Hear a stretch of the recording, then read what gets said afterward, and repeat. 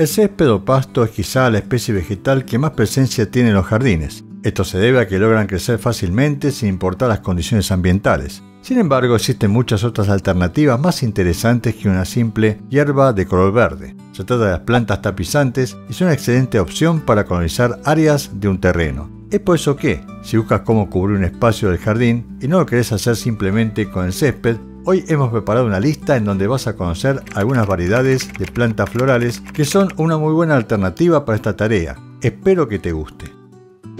Damos inicio con una especie que la vas a poder encontrar con diversos nombres, tales como asperilla de los bosques o aspérula olorosa, siendo una planta perenne que destaca por su fragancia y belleza. Esta crece en zonas boscosas y sombreadas de muchas partes del mundo, tales como Europa, Asia septentrional y norte de África. Su crecimiento le permite crear una densa alfombra vegetal, alcanzando una altura de hasta 20 centímetros y varios metros de largo. Cuenta con hojas lanceoladas que se agrupan en verticilos de entre 4 y 8 hojas, además de presentar una pigmentación verde brillante. En lo que respecta a su floración, son pequeñas y tubulares, con un tono blanco crema y dispuestas en corimbos terminales. Esta semana una fragancia muy agradable perfumando el lugar en donde se encuentre. A todo esto se le suma que produce un fruto de tamaño reducido y recubierto por pequeños garfios grisáceos. Estos se enganchan en el pelo de los animales y le permite diseminar las semillas con una mayor facilidad.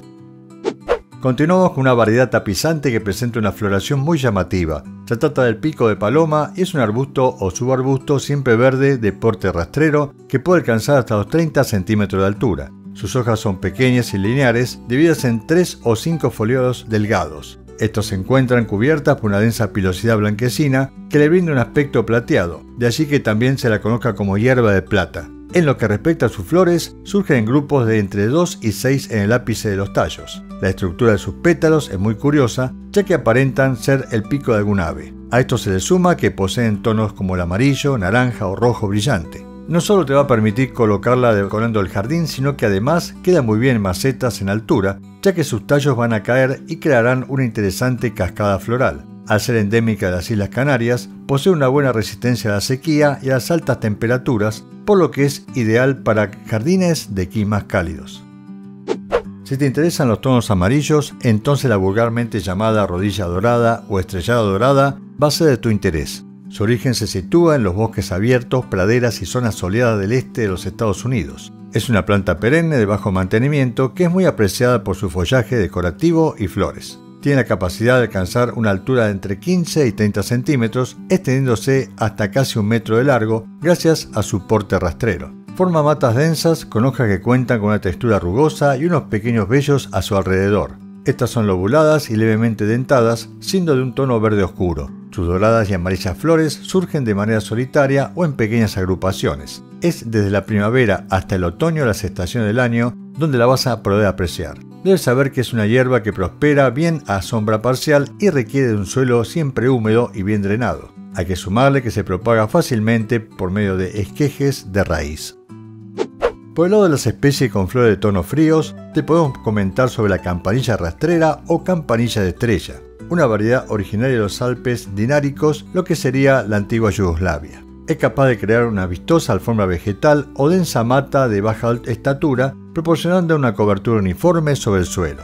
Las verdes hojas son pequeñas, ovaladas y ligeramente dentadas, estando presentes durante todo el año en la planta. Es muy apreciada en la naturaleza por sus bellas flores de tono azul lavanda o lila, aunque también las hay de colores más claros, al punto de ser simplemente blancas. Estas surgen intermitentemente desde mediados de la primavera hasta principios del otoño. Si bien logran desarrollarse a pleno sol, lo mejor es ubicarlas a semisombra si es un lugar muy caluroso. Prefieren una humedad constante y con buen drenaje. Debes saber que son ideales para jardines rocosos, ya que la vas a poder plantar entre adoquines o grietas de los muros de roca.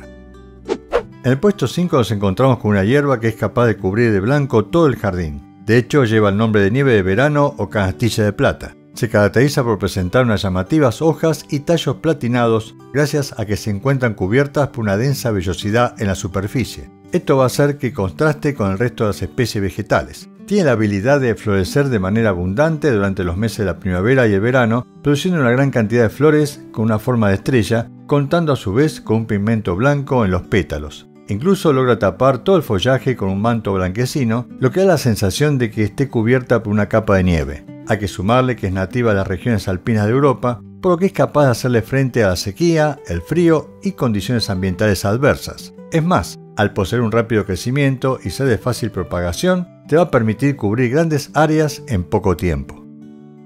Si te viene gustando este contenido, nos puedes ayudar dando me gusta, suscribiéndote y activando la campanita para saber cuándo subimos un nuevo e interesante video. Volvemos con los tonos amarillos para hablar sobre la hierba del dinero o hierba de San Juan. Es una planta vigorosa y postrada que pertenece a la familia de las primuláceas. Sus tallos le permiten crecer hasta alcanzar unos pocos centímetros de altura, aunque se extiende de una manera muy considerable a lo ancho. Produce hojas redondeadas y dispuestas en pares opuestos con un aspecto similar a pequeñas monedas. Sus flores brotan de forma solitaria o en pequeños grupos, siendo el verano la época en donde vas a poder apreciar. Cuenta con cinco pétalos dorados que van a crear una copa de 2 centímetros de diámetro. Es gracias a tales cualidades que no solo te va a permitir cubrir un área del jardín, ya que también se adapta muy bien a los recipientes o macetas. Estas pueden estar ubicadas de manera colgante o dejando que sus tallos caigan sobre alguna superficie. Es importante mencionar que en algunas partes del mundo es considerada una especie invasora, ya que se propaga en forma agresiva si las condiciones son favorables. Si buscas cubrir un espacio vacío en el fondo de tu hogar, una hierba de tonos azulados, entonces la enredadera de estrella azul o isótomo del pantano va a ser de tu agrado. Es una pequeña planta herbácea y rastrera nativa de Australia y Nueva Zelanda. Su crecimiento es bajo y presenta hojas de color verde intenso. La lámina de la hoja es oblonga, elíptica o lineal, con una longitud que no supera los 12 milímetros de largo. Es de la primavera cuando se van a comenzar a notar como poco a poco la planta comienza a llenarse de flores con pétalos de un pigmento azul violeta y con una forma estrellada. Esta puede estar presente hasta los meses otoñales. Es una especie muy resistente a las condiciones adversas, soportando la sequía y el calor. Además, se adapta a una amplia variedad de suelos y niveles de iluminación. Suele utilizarse en rocallas, borde de caminos o hasta en interior. Una buena idea es permitir que crezca en medio de las rocas, ya que genera una vistosa y bonita cobertura vegetal.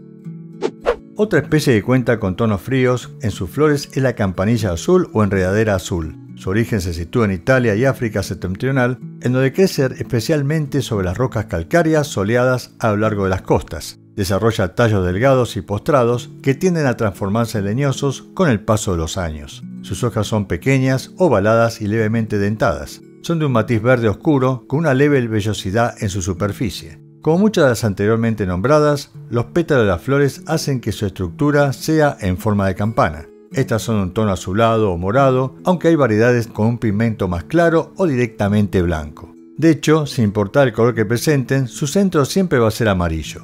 Debido a sus características, se vuelve una especie perfecta para crear manchas de color en jardines de roca ubicados en áreas soleadas y cálidas. Es más, su versatilidad le permite desarrollarse tanto sobre el suelo como en algún contenedor.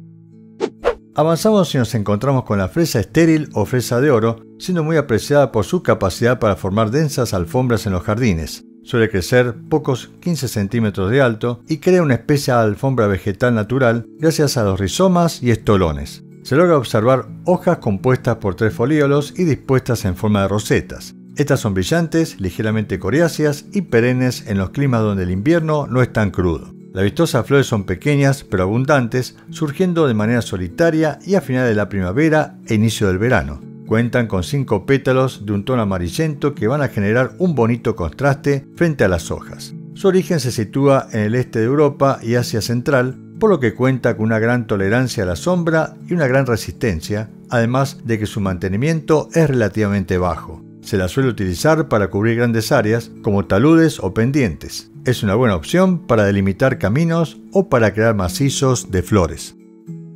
Por último, nos encontramos con una hierba que posee un uso tanto ornamental como culinario. Nos referimos al serpol, hierba luna o tomillo silvestre. Es nativo del centro y norte de Europa, adaptándose muy bien a los suelos áridos, secos y pedregosos. Se trata de un subarbusto bajo y postrado que da lugar a densas matas de tallos leñosos capaces de medir unos 25 centímetros de altura. Sus hojas son ovaladas y con una textura levemente pubescente. Estas emanan un aroma característico al ser frotadas. Aromáticas también son sus flores, siendo de un tono lila, rosa, violeta y a veces blancas. Surgen durante la primavera y el verano, agrupándose en tupidas espigas en el extremo de los tallos. Debes saber que son comestibles y su uso es en forma de infusiones o como tonificante natural, al igual que para condimentar alimentos cocidos o asados. Cuenta con propiedades antisépticas y antipiréticas, ayudando con los problemas digestivos. Asimismo es buena para mitigar la tos y para despejar las vías respiratorias. Es así como hallamos una planta que no solo va a contar con un uso ornamental.